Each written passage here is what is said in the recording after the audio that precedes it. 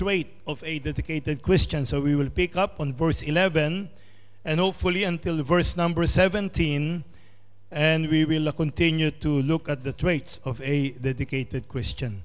So Romans chapter 1 verses 11 to 17 we will read this responsively.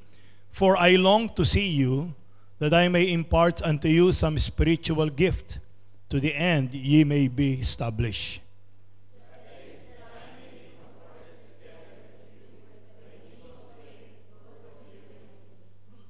Now I would not have you ignorant, brethren, that oftentimes I purposed to come unto you, but was let hitherto, that I might have some fruit among you also, even as among other Gentiles.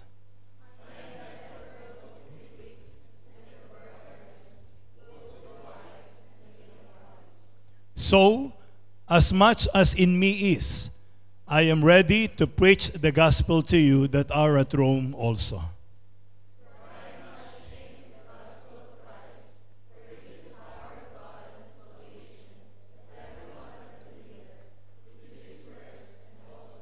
Altogether, for therein is the righteousness of God revealed from faith to faith, as it is written, the just shall live by faith. Father, once again, we ask for your wisdom, your guidance, that you will teach us today, O God.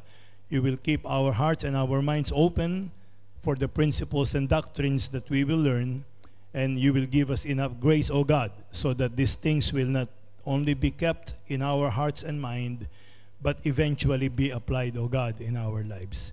Help us, Lord, that everything that we do will bring glory to your name. In Jesus' name I pray.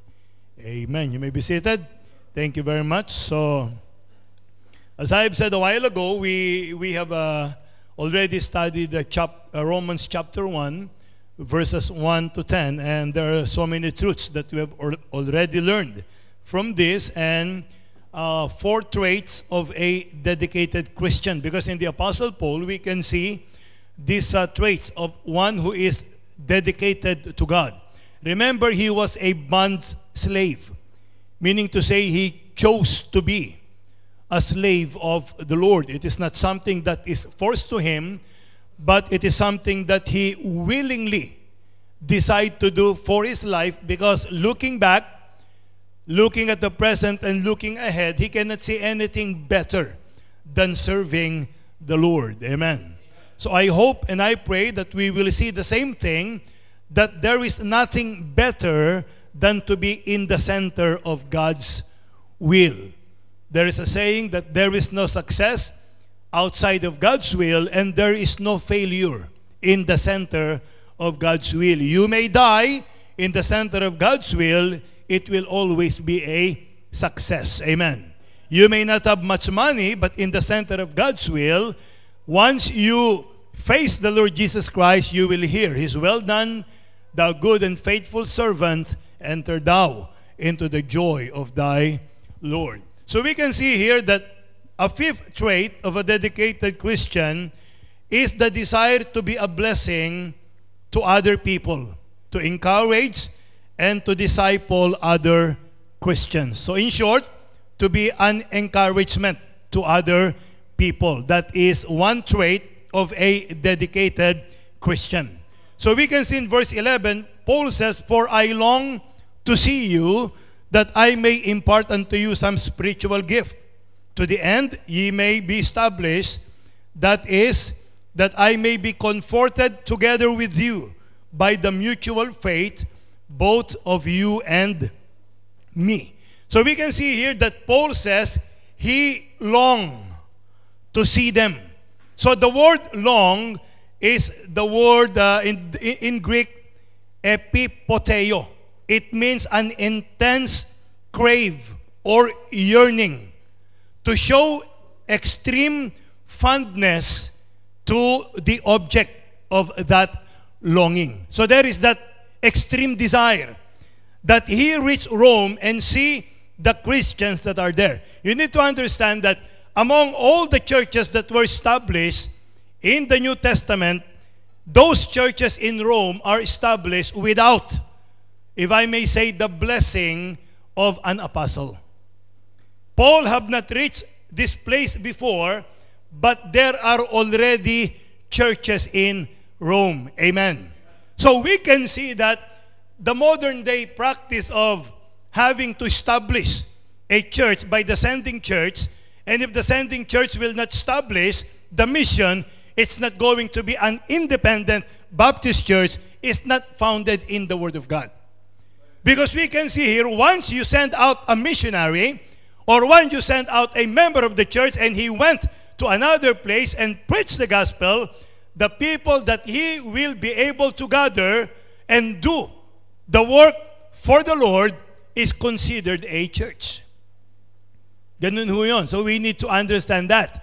Baka sabihin, hindi, ko inorga, hindi namin inorganize yan, hindi pa church yan. No. When you send out a missionary, he has the authority to preach the gospel, he has the authority to baptize believers, and has the authority to do the ordinances of the church. Therefore, it is already a church. Amen. So there are two ordinances, baptism and the Lord's Supper. They said that you can baptize, but you cannot do Lord's Supper. Why? Why? You cannot separate the two ordinances God has given to the church. Amen? So when you gave the authority, that missionary or that person is carrying the authority in order to establish churches. Remember, Paul is the one who established these churches without the aid of the sending church. And we can see that the churches in Rome were established without the aid of the apostle Paul. That's why he said, I long to go there. I want to see you. I am so excited to see people or churches that were established even though they are Gentiles and I was not the one used by God to establish these particular churches. So there was this strong yearning or craving or desire for the Apostle Paul to be in Rome. So this is his, uh, his uh, desire or his longing in life. Now, this word is the same word found in 1 Peter chapter 2 verse number 2. Yung, yung, yung yearning, yung longing. Okay? Can we look at that? 1 Peter chapter 2 and verse number 2. As newborn babes, desire the sincere milk of the word that ye may grow thereby. Ayun yung epipoteo yung desire. It means to say, a person who got saved will have what you call an intense craving, an intense yearning, or extreme fondness for the Word of God. So listen, if you claim, listen to me, that you are saved and you do not read the Word of God, think twice.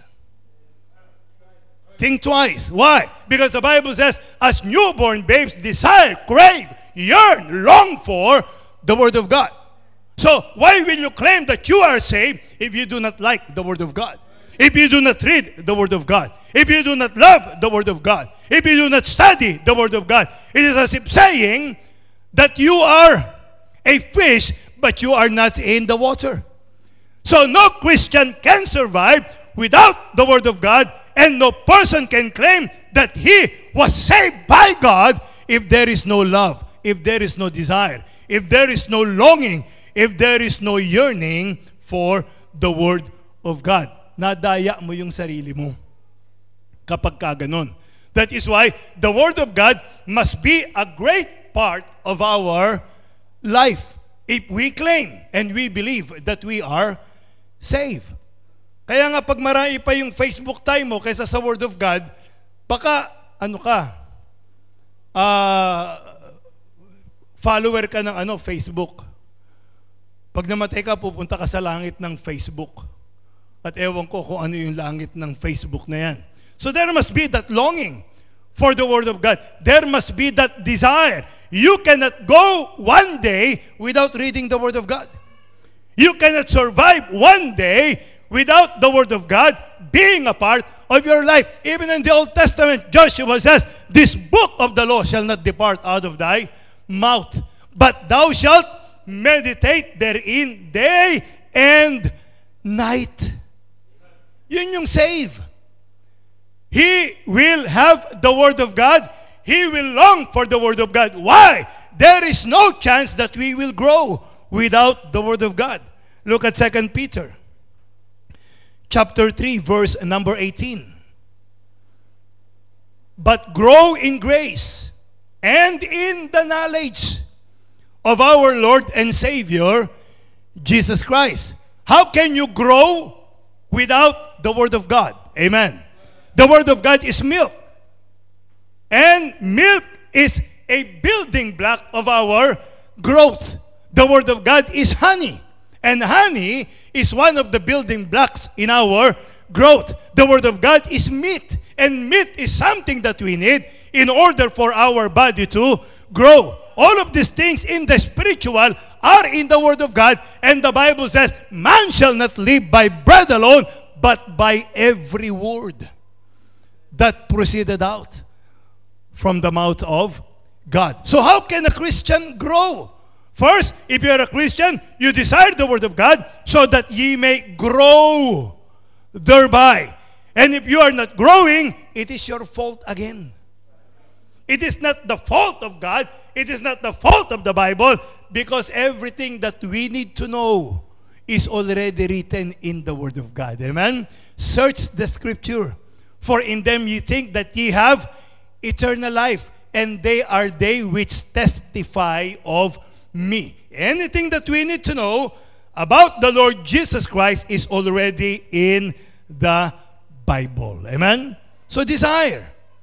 Paul says, I long to see you. Paul says, my heart's desire is to be with you. Almost every day, there is that longing in the heart of the Apostle Paul to go to Rome. Why? What is the purpose? He says, so that I can impart gift to you. He wanted to give them gifts. Hindi yung ano ha, hindi yung regalong ibibigay mamaya sa mga father ha. Hindi yun. Amen? May regalo ba mga father mamaya? Surprise, surprise. Okay. Excited na kami, excited na kami. He is going to impart to them gift. Now, this gift was not referring to what we call uh, salvation or the gift of the Holy Spirit. Because this gift, salvation and the gift of the Holy Spirit, can only come from God. And we cannot give that gift. It is only for God to give. I cannot give you salvation no matter how I wanted to. I cannot give you the uh, uh, gift of the Holy Spirit no matter if I wanted to. And even if I desire to, I cannot give myself this gift because this gift comes only from God. And He's the only one who can give this. So, what are the gifts that the Apostle Paul is talking about? He was referring to what we call spiritual benefits that will come from preaching and teaching the Word of God. That is the purpose of the Apostle Paul. He wants to go there. Why? Because as an apostle, as a uh, apostle to the Gentile or Gentiles, there is that desire in the heart of the Apostle Paul to put a seal on what uh, on the things that these Gentiles need to know and need to understand. Why? Remember, they were in Jerusalem. There was a great persecution. Because of that great persecution, they were scattered abroad. Most of them are Jews. Those that were scattered abroad. And these Jews preached everywhere they went. So, the most uh, likely scenario is that most of these house churches were established by a Jewish preacher. And thereby, it may be heavy on the law. You understand what I'm saying? They may be heavy when it comes to the law. Remember, even the apostles, they are confused regarding law and grace that they wanted to uh, uh, give all the laws to the Gentiles, but in Romans chapter 14, they made the decision that not to burden the Gentiles with the law. Why? Because it was only given to the Jews, and they were past that because salvation was already given to them by God. So Paul wanted to go there in order to correct if there are something wrong. In order to supply those that may be missing. He wanted to preach and to teach to them the Word of God. That's why he says in verses 14 to 16, I am ready to preach to you that are at Rome also. So these are the gifts that Paul wanted to impart unto them. The preaching, the teaching of the word, the purpose is so that they may be established. Do, do, do you see the word? Paul says that ye may be established. So there is a, a uh, something in the mind of the Apostle Paul that maybe they are not yet established or rooted up in the Word of God. There may be something lacking because Paul is the one who should be taking care of the Gentile churches. Or he, as I have said a while ago, is what we call the apostle to the Gentiles. So he wanted to give them the seal of his apostleship. So the benefits include a change in attitude and in action, maturing and in the knowledge of the Lord, so that they will be established by the grace of God. Establish means to set in concrete or strengthen. Yung word dito na establish, nanggaling sa Greek word, na ang, uh, ang Greek word na isterizo, doon nanggaling yung ating word na steroid. The word steroid is the one that strengthen your body. That's why you will see those uh, people with big, with big muscles, they use steroid. So this is that word that Paul used in the word establish so that Christians will become strengthened in the Lord. So meaning to say, if Paul will teach to them the word of God, then they will be established more in the word of God. Look at Luke chapter 9 verse 51. This is the same word used when the Lord Jesus Christ was determined to do what he was set out to accomplish in this world. And it came to pass when the time was come that he should be received up, he steadfastly, esterizo, he steadfastly set his face to go to Jerusalem. Nobody can stop the Lord Jesus Christ. Not even Satan can stop the Lord Jesus Christ. He steadfastly. It means to say, he is going to go all the way. It may be hard. It may be painful. It will cost his life, but nobody will stop him. In the same word, when the Apostle Paul says, unmovable, always abounding in the work of the Lord. Amen. Why? We need to be established. Why? There are so many false doctrines and false, teach, false teachers in the world. If you are not established, then you are going to be like children tossed to and fro by every wind of doctrine. Biro mo, eh, ito, ito. Papa, how can you believe that the followers of Quiboloy are even saved? Have you seen the latest proclamation of Quiboloy? He says, I'm going to make rice 5 pesos per kilo because I am the owner of the world. He said, I can do that because I am the owner of the earth.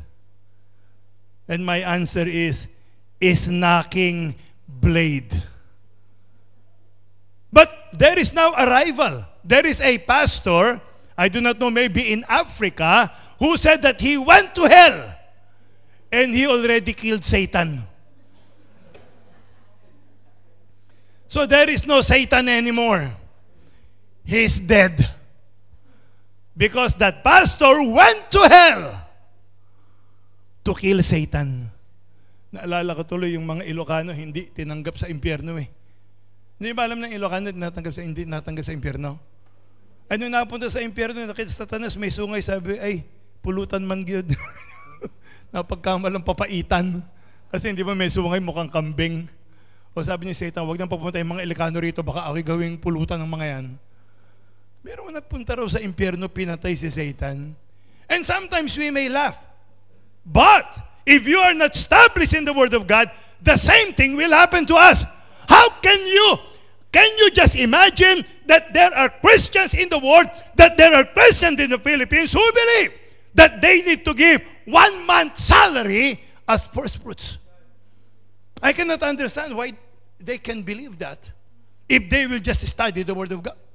I cannot understand why there are Christians who believe that they cannot transfer that membership and that they need to send their tithes and offering to their uh, home church even though they are abroad for a long, long time. And they believe it. Why? Because they are not established in the Word of God.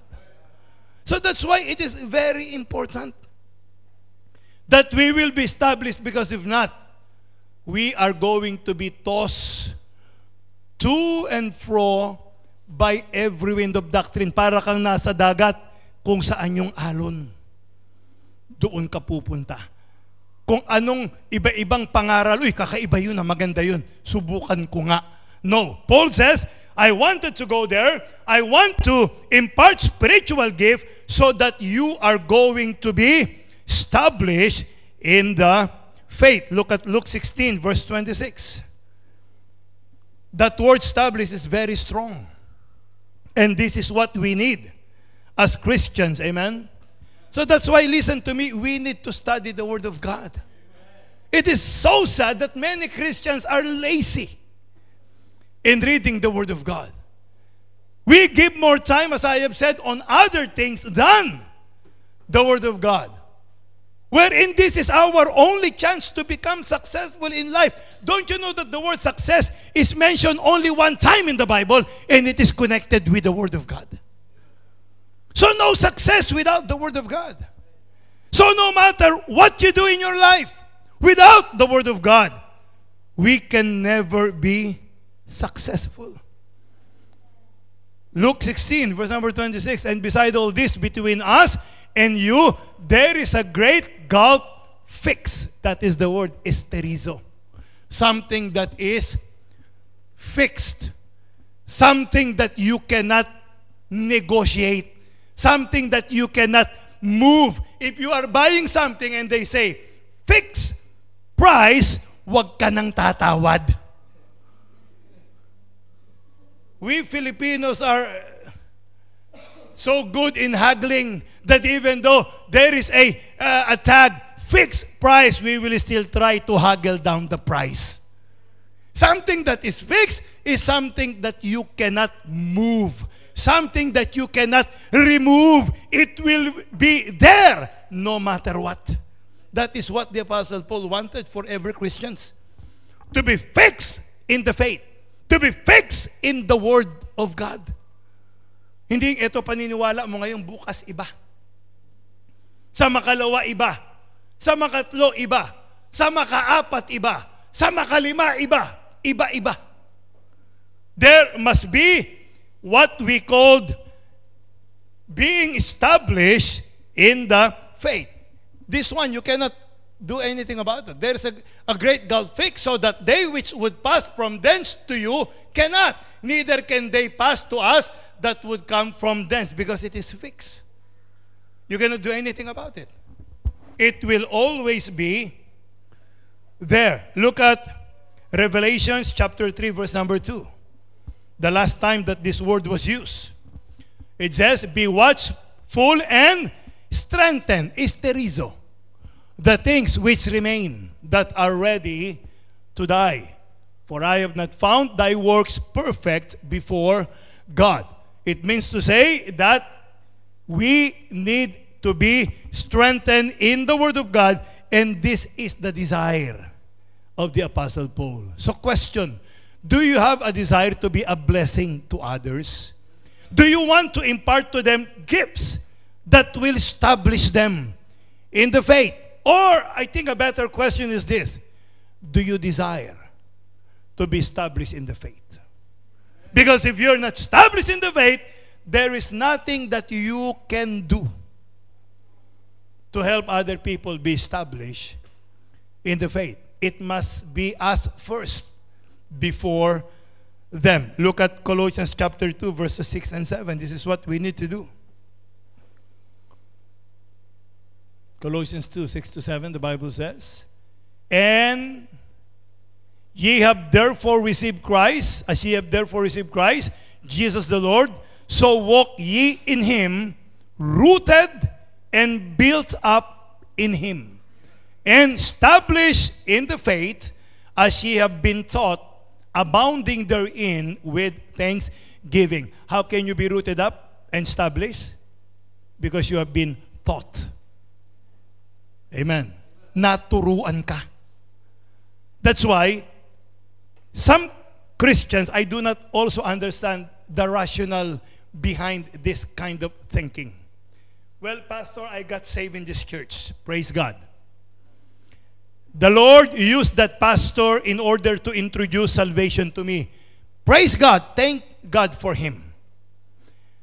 But he is not teaching the whole counsel of God.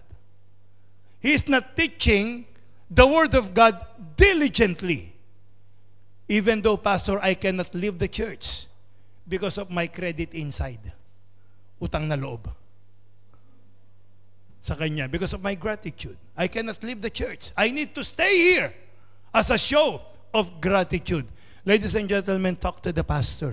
Encourage the pastor to teach more, to study more of the Word of God. If he will not do it and you will not grow, find the church wherein you will grow as a Christian. Why? Because one day you will face the Lord Jesus Christ at the judgment seat and you will be rewarded accordingly. If you will not if you do not know how to do what is right you are not taught to do what is right and you could not do it then you are going to suffer loss at the judgment seat of Christ. Kasi tayo mga Pilipino itong maganda't masamang ugali natin antindi natin kumapit. Kahit hindi na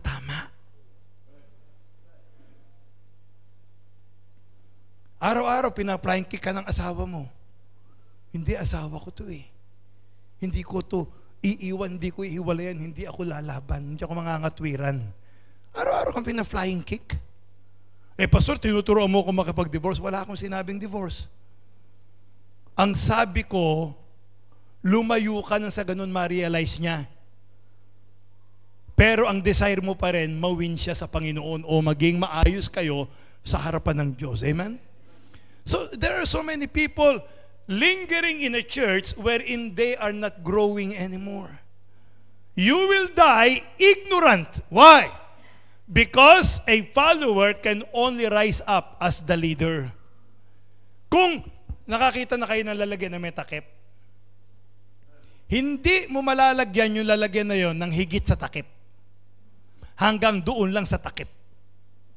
Right? Just, just through that uh, up to that lead. So in order for you to grow more, you raise that lead and the container so that it can contain more. The same thing with us. If your leader is only up to here and is not willing to grow anymore, then help yourself to grow in God. Why? Because God's uh, desire is for us to grow in the grace and in the knowledge. Baka pinamemorize sa'yo, John 3.16, mamamatay ka na lang. Ano na-memorize mong verse? John 3.16, In the beginning, God created the heavens and the earth. Biro mo yung pa rin ang alam mo. Malapit ka ng maputulan ng hininga. O hindi ka nag-grow. So it is your right to grow in the Lord. It must be your desire to grow in the Lord if you need to turn your back on that church and find a church that is willing to teach you, then go for it. Because you need to grow in the Lord. Hindi yung nostalgia ang pagiging kristyano. Hindi yung, anong tawag doon? Hindi sentimental value. Kung hindi fundamental value. Amen? That is what we need to do in our Christian life. So if you will make the goal of your life is to help other Christians grow and mature in the faith, then it will change your whole outlook and direction in your Christian life. Amen. Because you are going to spend your time helping other people and you will be more fulfilled because you know that there is something that you can offer to them. Don't you know that by encouraging other people, you yourself will be encouraged? Hindi ba? Sabi mo, no, pagka may natulungan kang tao, merong nangangailangan, talagang legitimate yung pangangailangan niya, natulungan mo, hindi ba masasabi mo, ang gaan ng feeling. Hindi ba? Ang saya-saya. Why? Kasi nagiging blessing ka sa ibang tao. Subukan mo nakaperwisyo ka ng ibang tao, ang bigat ng pakiramdam para ka nagigilty. But if you help other people, then you yourself will be encouraged. That's why Paul says that we may be encouraged by the mutual faith that we have in the Lord. You see, when you go out of the country, you go back to the Philippines and you visit other churches and you will find churches of like faith, then it will encourage you. Pastor, I saw a church there, they do not practice first fruit, they were, they were not deceived. So there is that, that uh, feeling of encouragement. I, I was in the Philippines. I talked to several pastors about to introduce first fruits in their church. So we talk. I explained to them the Word of God. And they say, Thank God that we have this conversation. I'm not going to push through in teaching first fruit in our church. Now, by the grace of God, I know better. Amen? Di ba ang ganang feeling? Akahapon lang, nagkukwento, nagkukwento si Sister Shine. Eh, hindi niya pa na-testify. Sana may testify niya rin, pero unahan ko na siya. That she said that, to God be the glory, when I was in the Philippines, uh, most of my friends and relatives, they said, Shine, there, there is a, what we call a lot of changes in you, a lot of improvement. Because before, when we talk, we only talk about boys. But now we talk about same sex. No, no, we talk about the Word of God. And they said that, that uh, we are encouraged by what happened to you over there in Cambodia. So that is something that we will be encouraged about. Sabi nga ni Jen, you see, if you are here, listen, things that we are doing are normal because it is common in our church.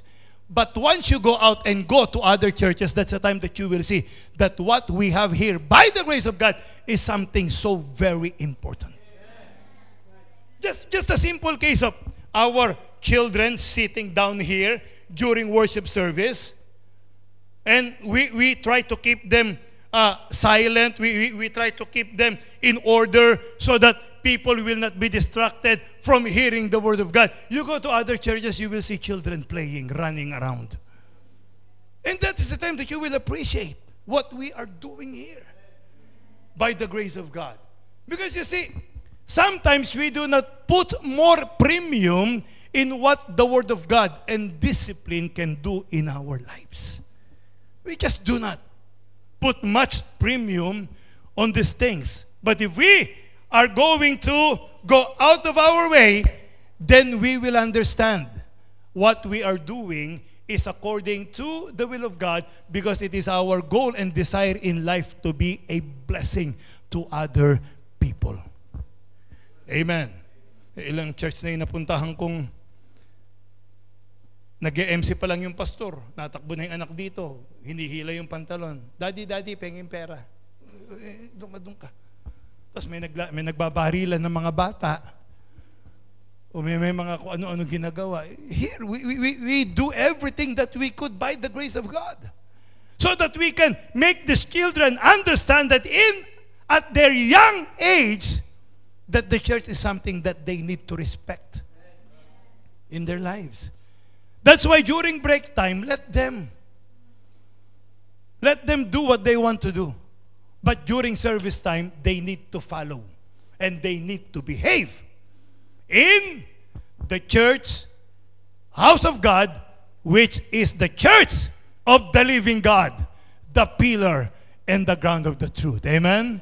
And yung memory verse ng mga men natin sa kanilang uh, book. Memorize mo na ba? Listen, kakatawa. Tataranta yung mga preacher, hindi na memorize. Si Brother Alex nagkanda utal-utal. That thou hotes emea. Dinaig pa sila ni Ponlu. Ponlu, you memorize uh, the, your memory verse. Come on, come on, you recite. Come on. Mm.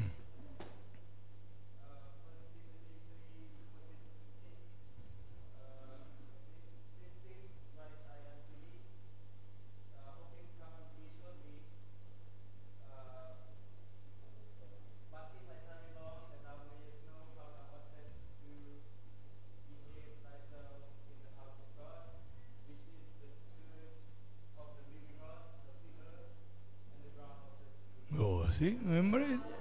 Brother Idel, pakitahan mo nga si Ponlo. Ah, next time, next time, ah, next time. Ah. Kasi kararating lang ni Brother Edel eh. So hindi niya pa na, na-memorize.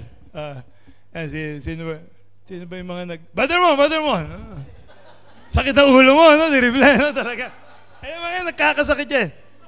Brother June, asan? Ba nakatakbo agad? Wala eh, talagang... Brother Gomer, Brother Gomer. Uh, pakita ang mga brad. Ah, Oo, talagang may sakit lahat ang mga tao pagdating sa memory verse. So, it will encourage you, amen? It will impact your very life. If you know that you can help other people, it will raise the level of your enthusiasm. You will become more zealous in serving the Lord. You will be more zealous in in uh, doing things so that you can help other people. Don't you notice that if you have a visitor in the church, you are very active? Don't you notice that? If you have a visitor, you will come early waiting for your visitor. But if you do not expect any visitor, we're waiting for you. Amen? If you have a visitor, then you are so behave in the church. Amen? Pakitang tao. If you have a visitor, then you are very active in opening your Bible and sharing your Bible to your visitor. Right? If, if, if you have a visitor, you are eager to give. Showing your visitor that you are a, a generous Christian. And if you have a visitor, you're very prayerful that during the invitation you're praying that your visitor will respond to the invitation of the Word of God.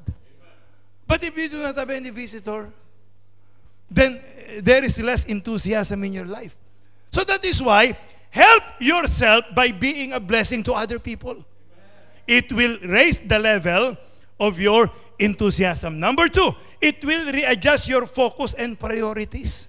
So instead of living for yourself, you will learn how to live for other people. Who can I help today?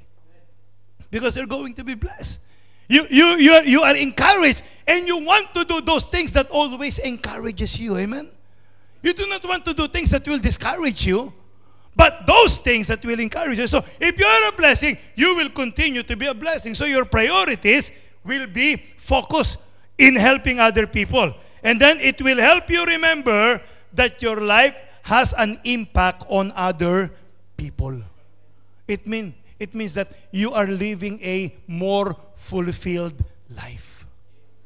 Because you matter to other people. Just imagine a family is about to break up and then God use you in order to mend the problems of that family and that family live together for a long time happily because of that God use you to mend the life of this family will it not encourage you you see sometimes when i'm discouraged i look back on the things that the Lord has given me a part in the life of other people. I remember McCoy, Michael Angelo Fernandez.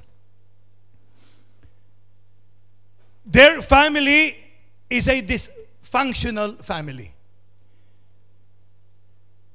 Uh, Go, Nomer, not Gomer, Nomer, and what's the name of the wife? The Gualo Larina. Maganda mga pangalan eh. Gualo, Nomer and Gualo, husband and wife, with McCoy and Phoebe as their children. McCoy at an early age was already a drunkard. He is always drunk. Morning, noon, nighttime. It is almost always that he is always drunk. He is the lead singer of a group called Gehenna's Helm. Gehenna Impierno. He was the lead singer of that group. And his hair is down to here, very long here. Then one day, Brother Danny Baldovino saw him, saw a group of young people, he approached them and they ran. And Baldovino ran after them and he was able to corner McCoy. And then he said, listen to me just five minutes. And explained to him the word of God. Of course, McCoy is drunk. He couldn't understand. But he said, can you just come to the church on Sunday? And then, uh, you know, the Holy Spirit, God works in mysterious ways. Amen? He went to the church that Sunday. But this is what happened. While he was there, I was teaching about why rock music is of the devil. And he stood up in the middle of the Sunday school and he said, Teka, I said, no, sit down. We talk in my, at my office, not here. So he sat down. And you cannot paint his face because of what he's hearing. But he sat there and listened anyway. And then comes preaching time. And he went to the office and we talk about it and I explained to him. And by the grace of God, the Holy Spirit works in his life. And then the following Sunday, he brought Phoebe with him, his sister. And Phoebe got saved. He, she professed to, to accept Jesus as her Savior. And then the next Sunday, he brought his mother, Sister Gualo, but they were not able to bring Brother Nomer because Nomer said, Makoy, it is only your trip. It is not true. Why? Because this is a situation in their house. Every midnight, McCoy will go out of the house, leaving the house open. No regard whatsoever for the safety of the family. Will go out, will drink, and will bring ladies or women in his room doing sin with them. And then if Brother Gomer will wake up at the middle of the night and see McCoy uh, doing those things, he will get angry and they will come to punching match. Nag-aaway, suntukan silang magama. That is what's happening in that family. But McCoy got saved. Phoebe got saved. Gualo got saved. And he said, Pastor, help me that I may be able to lead my father to the Lord. By the way, his hair became short because of the working of the Holy Spirit in his life. And then I went to their house. Nomer will not go out and join us for Bible study. Eh, sutil ako.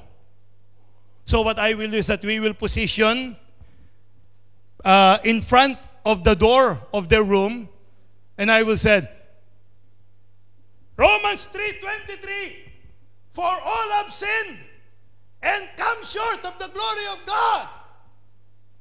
And I will say, lahat nagkasala, tayo rito. Kahit na ikaw na nakakarinig ng boses na ito, nagkasala ka rin.